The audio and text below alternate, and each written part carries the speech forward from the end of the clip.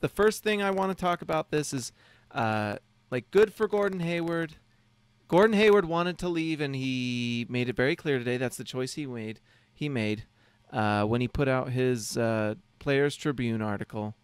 Um, and my first reaction, honestly, is just I'm really bummed about it. There's no, you know, there's no other way around it. This just sucks in every way. There's nothing about it that's good. Like we lost a really good player today. He, uh, Gordon Hayward is has been a great player for us, a big part of our winning uh, in the playoffs, a big part of our winning 51 games last season. Um, he had a choice to stay here or leave, and he chose to leave, and it sucks. We it's it's it's hard to just lose a good player like that, and especially a good player at the three spot because there's just not a lot of those in this league. So it really sucks, and I'm really bummed about it. And so what I wanted to do is talk a little bit about uh, some of the things that uh, how it affects the Jazz, uh, what Gordon Hayward is, what Gordon Hayward isn't. Um, the first thing is that the reason this sucks for the Jazz is because Gordon Hayward is a legitimate top 20 player in the NBA. He's uh, Gordon Hayward is a, a good shooter. He is a good playmaker. He's a good passer. He's a good finisher, and he's an efficient player. He's just an all-around really good player. Uh, you can plug Gordon Hayward in basically any offense in the NBA, and because of his skill set, he's going to fit in really well. So he's going to fit in well with Boston, you know, and good for Boston. You've got a great player. Like there's uh, there's nothing else you can do but congratulate Boston on getting Gordon Hayward. He's great. He's going to help their team win.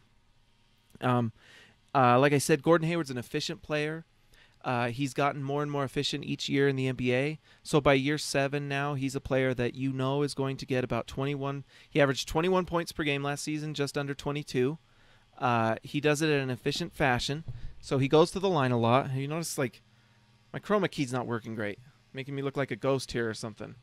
Goes to Hayward behind me, that jersey. But anyways, uh, Gordon Hayward is an efficient player. He's going to even on nights when he's not having a good shooting night, he still scores in an efficient clip. He'll he'll have more points than shots taken almost every single night because he gets to the line. So one thing Boston fans are going to notice is, is that Gordon Hayward is going to average about 20 to 23 points depending on how many possessions he gets, which is kind of going to be interesting this year with Boston is how many shots he gets compared to Isaiah Thomas. Um, but the big question also is like Gordon Hayward will score for you guys, so he's going to get to the line about seven eight times a game.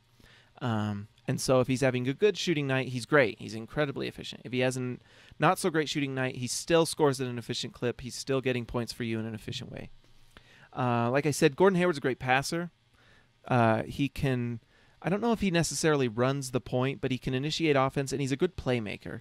So he can run a pick and roll. He finds the open man. The ball moves while Gordon Hayward is on offense, so it goes from side to side. Uh, he finds the right guy. He'll get alley oops. He'll he'll find the open man. He's a great passer. Um, and like I said, he fits in a lot of teams. But the thing I wanted to talk about of what Gordon Hayward is, he's also a liar. Gordon Hayward told us uh, that he was making his decision today. Don't tell me that you were making your decision today, Gordon. Don't lie to us. We know that this was made a long time ago. Every single national guy out there told us this is what you were doing. Whether it was Amin Elhassan, uh, whether it was uh, the the local beat writers in Boston, they all seemed to know uh, just everyone, Zach Lowe, all these guys have heard things from Bartelstein that he was leaving, that that or they were hearing it from somebody, but all of them predicted it. All of them said that he was leaving, and they were right. Us in Utah, we all thought that you we had a chance to keep you. That like if we presented it to you, that if you looked at the situations uh, with like with Rudy Gobert, uh, with the, the the other talent around you, Joe Ingles, we we just signed Joe Ingles to play with you, Gordon Hayward, because he's not only is he a great player, a good player, but he's like one of your best friends on the team. Uh, we have other players around you that are very solid players. We took on Ricky Rubio to play with you because apparently you wanted a playmaking point guard. We even tried to sign George Hill for you, Gordon Hayward, so that you would stick with us. Apparently, he was one that you wanted to have on this team. I don't know if that played into you not uh, signing with the Jazz, but what my gut tells me is that that that wouldn't have affected anything because you were leaving anyway. You told you said something that wasn't true that makes you a liar.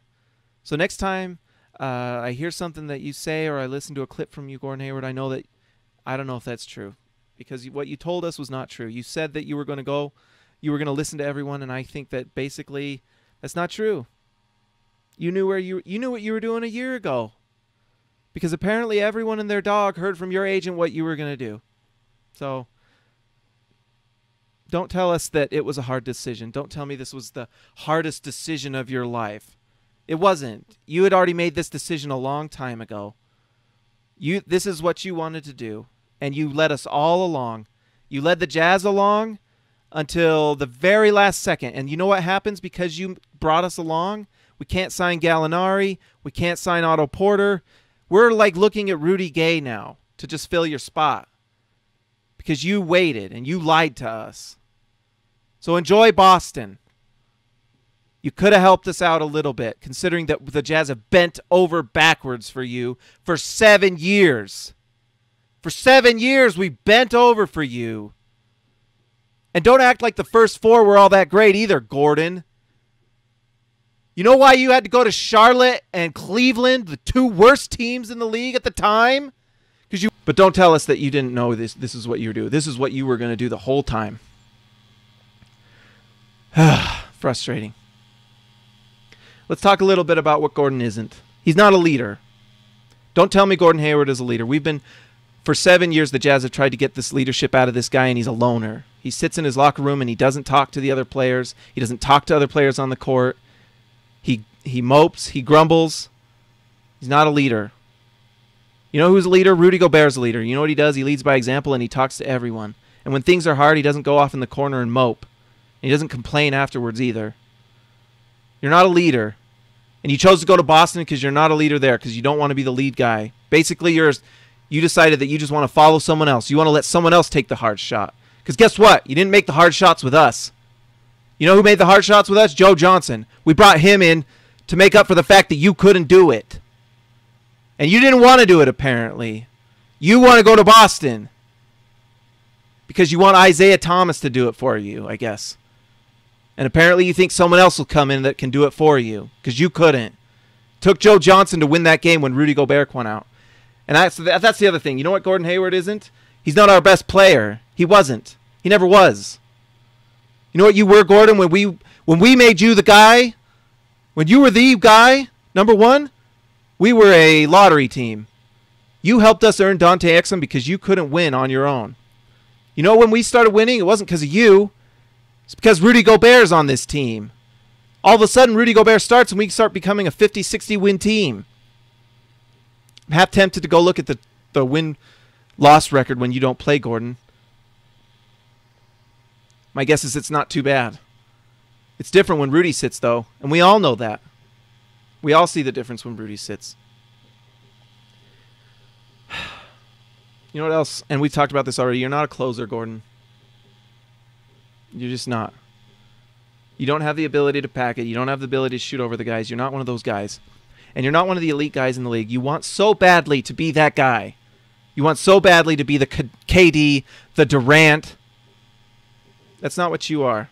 You wanted your little moment to be just like KD last year. Sure, you're going to be a good player in Boston. You're going to help win. Good for you. You're going to be on the second best team in the East that literally has like three or four teams to even compete. They literally all flocked.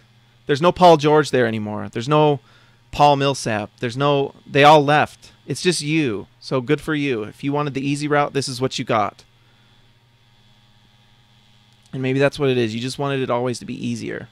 My guess is now at this point, if we had even signed Paul George, you wouldn't have even stayed. Maybe that's what you were waiting for to see if we can get something like that to make it easy for you so that someone else can do the job that you get you can't do. That you never did. And that's why you left too probably cuz you know you can't do it. Obviously, no one can beat the Warriors right now. They're they're amazing, but we know that we can't do it with you. You proved that last playoffs. So enjoy Boston, enjoy playing LeBron. But the last thing, Gordon, is the last thing. What you aren't is you're not a part of this family. You're not. Everyone on this team has camaraderie, and we know that you weren't a part of that.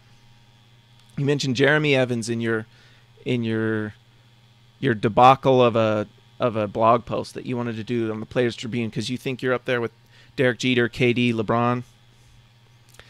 No one in this in this locker room is going to miss you. I know who's not going to miss you is Dante Exum. And he's going to do better now and he's going to flourish because he gets to play because we don't have to constantly kowtow to your little whining and and diva stuff. Enjoy enjoy Boston. You're going to see a point guard who's going to take shots from you. And I guess you'll get your all-star spot because you took the easy route and there's not that many spots in the East to even take. I mean, it's you and DeMar DeRozan. Enjoy DeMar DeRozan in the locker room over there in the All-Stars, but but you're not a part of this family. You're not uh, you're not someone that anyone on this team is going to miss. I'm sure that there's a lot of players that are going to come out and let people know exactly how you are in the locker room. Uh, we're not going to miss you. You're going to go to Boston and you're going to take the easy route and you're going to win 50 to 60 games in a weak conference. Enjoy that. It's fine. You know, we're honestly, and I like this. This how I end. I'm just disappointed that that you lied to us, Gordon. Like, the least you could have done is let us know when we had all these people going and helping you out and supporting you. But we did that for you, Gordon. So enjoy Boston. Uh, I'm sure you'll win a lot of games there. You'll make a lot of all star teams. But you're not going to win the title any more than you did here. Bye.